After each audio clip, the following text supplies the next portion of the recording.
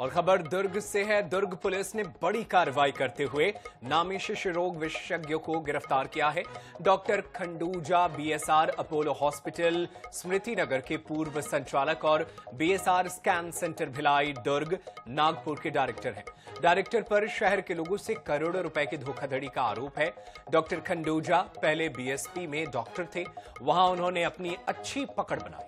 इसके बाद नौकरी छोड़कर पावर हाउस में एक छोटा सा क्लिनिक खोला। अपोलो बीएसआर में इन्वेस्ट करने की बात कहकर उन्होंने करोड़ों रुपए के ठगी कर लिए। उन्हें पुलिस ने कोलकाता से थाना में एक पेंडिंग अपराध था, जिस पर डॉक्टर खंडूजा के खोजबीन पता तलाश चल रही थी, जो फरार चल रहे थे उनकी उनका सूचना मिला कि कलकत्ता में रह रहे हैं तो हमारी टीम वहाँ गई थी और गिरफ़्तार करके यहाँ लाया गया है। आरोपी के खिलाफ कार्रवाई की जा रही है।